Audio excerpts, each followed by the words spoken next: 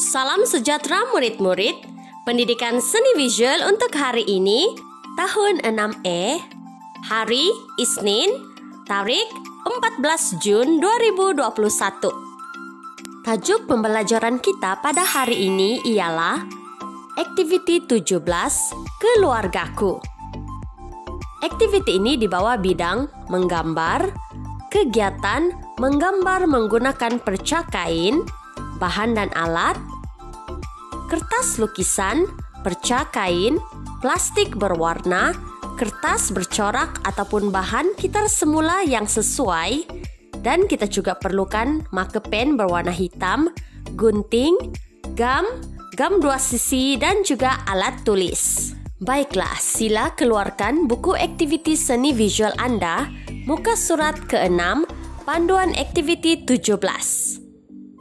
Di sini, murid-murid dapat rujuk sendiri setiap penjelasan, langkah-langkah, bagaimana caranya untuk menghasilkan karya collage keluargaku. Nah, kenapa cikgu panggil ia sebagai karya collage? Ini karena kita gunakan percakain dan bahan-bahan yang sesuai untuk ditampalkan pada lakaran lukisan nanti. Sekarang mari kita masuk kepada KSB pada hari ini. KSB kita pada hari ini ialah menghasilkan gambar collage bertemakan keluargaku. Manakala SB pula yang pertama melakar gambar suasana bersama keluarga dan yang kedua melekatkan percakain bahan yang sesuai pada bentuk lakaran. Kita masuk kepada energizer.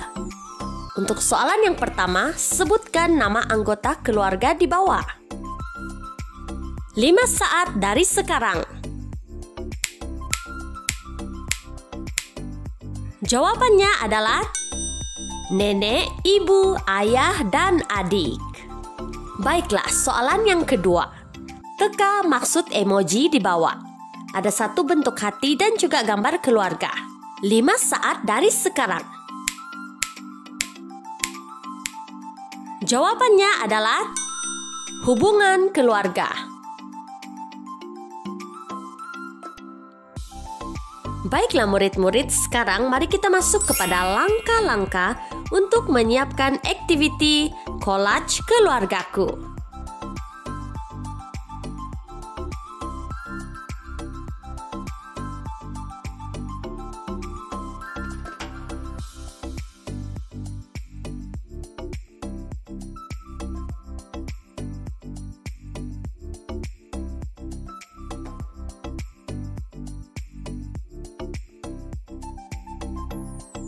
Baiklah, di sini kita memerlukan sehelai kertas lukisan, bag plastik ataupun bag plastik yang mempunyai corak-corak. Di sini cikgu cuma ada yang ini saja. Beberapa keping sampul angpau sebab coraknya cantik-cantik. Dan ini adalah jenis kain crepe. Di sini cikgu cuma sertakan satu jenis kain perca sahaja sebab di rumah cikgu tidak ada kain kain perca. Jadi cikgu guna apa yang ada sahaja. Kita juga perlukan gunting, gam, gam dua sisi, dan alat tulis. Baiklah, untuk langkah yang pertama, lakarkan suasana bersama ahli keluarga.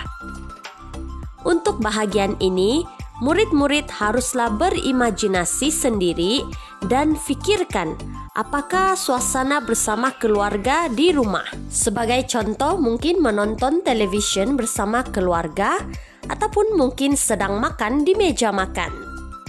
Dan setelah lakaran siap, kita akan gunakan bag plastik hitam ini untuk membuat collage di bahagian rambut terlebih dahulu. Bahagian ini merupakan langkah kedua untuk menyiapkan collage keluargaku. Selain memilih corak bag plastik, murid-murid juga bebas menggunakan apa saja bahan yang sesuai maupun percakain yang mungkin ada di rumah masing-masing. Nah, seperti yang murid-murid lihat pada screen ini, Cegu menggunakan bag plastik berwarna hitam untuk membuat lakaran pada bahagian rambut. Begitu juga untuk bahagian yang lain, murid-murid haruslah menggunting bahan, kain perca ataupun bag plastik yang digunakan mengikut bentuk lakaran tersebut.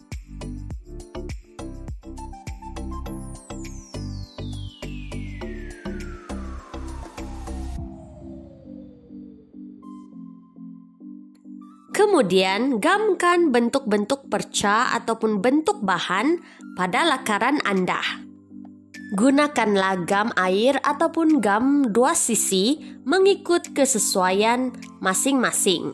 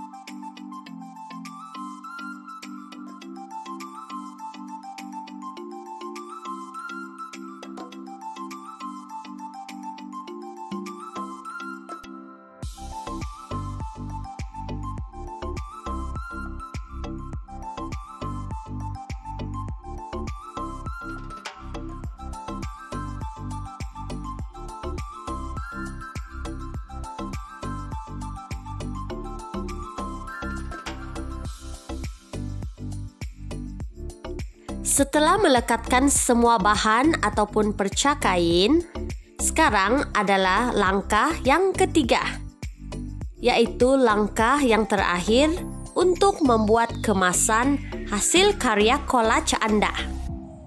Seperti yang murid-murid dapat lihat untuk bahagian wajah maupun tangan, Cegu menggunakan pensel warna warna peach untuk mewarnakannya dan di sini Cegu juga menggunakan pen marker berwarna hitam untuk membuat kemasan hasil karya.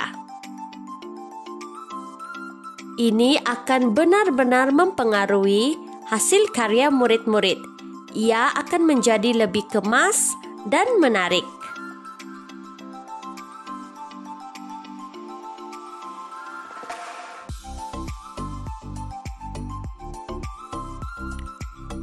Begitu juga untuk bahagian latar, murid-murid haruslah memberi kemasan pada bahagian latar belakang juga. Ini sekaligus akan menghidupkan lagi suasana bersama dengan ahli keluarga, baik di rumah maupun di luar rumah. Inilah hasil karya gambar collage keluargaku untuk aktiviti pada hari ini.